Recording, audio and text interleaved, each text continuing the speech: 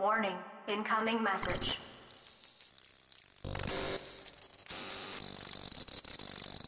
This one is for all of those people who still want more of all the great tunes sung by the Commodore and feel the world is moving just a tad too fast. Synchronizing. We feel nostalgic about these songs because it reminds us of a time that we have lost and now we're keeping it alive while having a blast. Emulating the past.